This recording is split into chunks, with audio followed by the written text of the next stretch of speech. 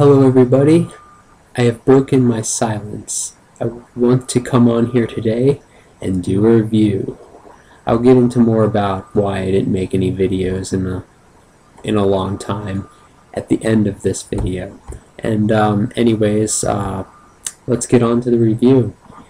What I'm going to be reviewing today is a very, you know, is a release from a very small band. They're still semi-independent on the Red Scare label, a pop punk band called Direct Hit. Um, their second album, Brainless God, um, and this is the best album of 2013, or one of them. It's definitely the second best or the best.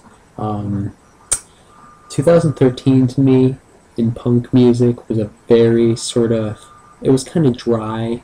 There were some good releases, a handful of them, but nothing really stuck out as amazing and classic except for, you know, this and the Dan Vapid album. There don't get me wrong, it's not a, there were some really good releases from that year. On the Red Scare label too. You know, the rest of the ones from the Red Scare label, they were pretty good, but otherwise you know, there was nothing really, I don't know, it was just kind of, to me, a little bit, you know, it was the year of the reissues to me. Um, anyways, enough about that. But this album, like I said, it's pop punk. It's uh, it's along the lines of a lot of you know the the fat Red Scare crossover type of music, you know, Teenage Bottle Rocket, um, Masked Intruder, and the copyrights. It fits right in there with those type of bands. They're nice and poppy and, you know, catchy, but they're still not, you know, like, I don't know, trying to rehash some 2002 crap that populated MTV.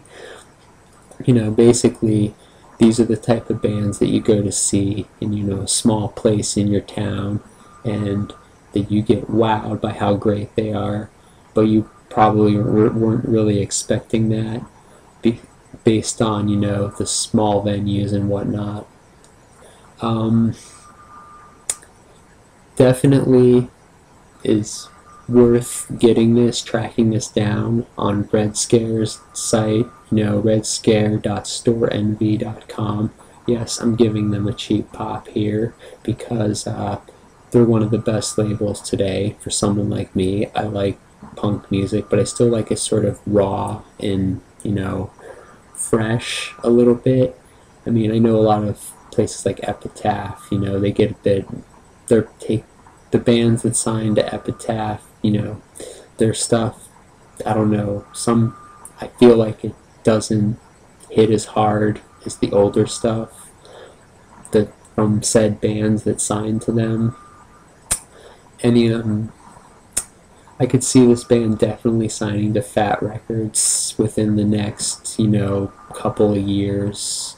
They they totally seem like, you know, this album was a huge hit when it came out amongst a lot of uh, I don't know. I'm follow a lot of them on like a lot of punk things on my Facebook, and this was a huge hit. Um, punk news, all those under other underground places. Um, huge hit with me too. At first, I mean, I didn't. I listened to it and it just, you know, it was one of those albums that, like, you know, the best kind. You listen to it at first and it's like, just sounds like a bunch of noise but then when you listen to it like two or three more times, it just keeps growing and growing, growing better and better. Um, I really wish I would have seen this this band live in June this year, but circumstances came up that prohibited me. I'm hoping they would come around again to Cleveland, Ohio.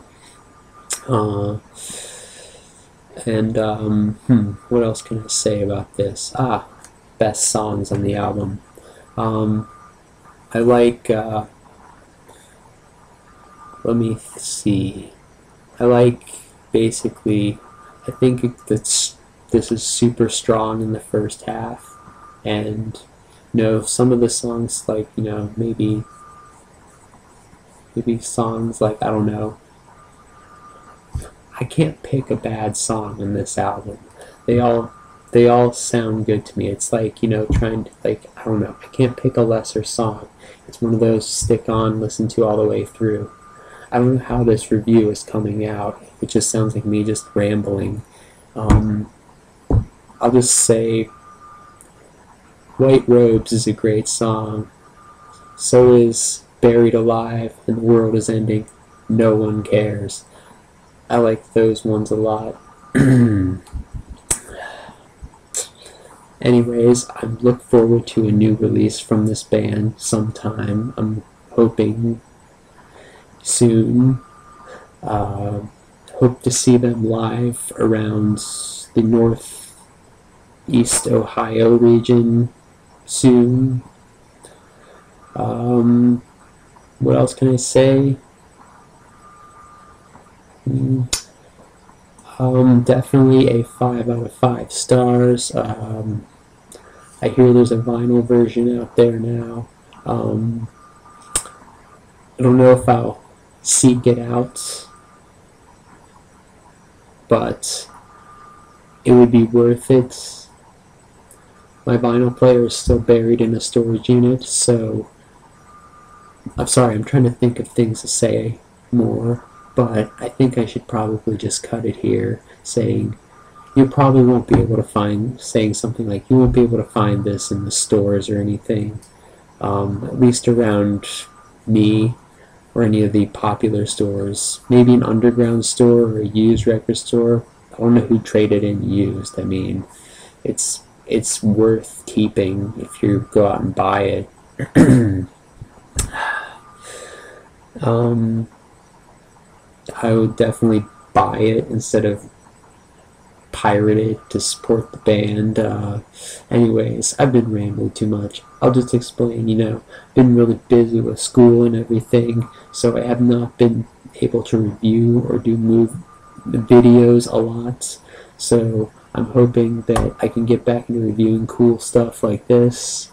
Um, anyways, this video is about this album, so pick it up. It's awesome. You know, if you like pop punk, if you like Fat Wreck, Red Scare, um, you know, sort of apocalyptic lyrics, that's, you know, it's fun. It's a concept album.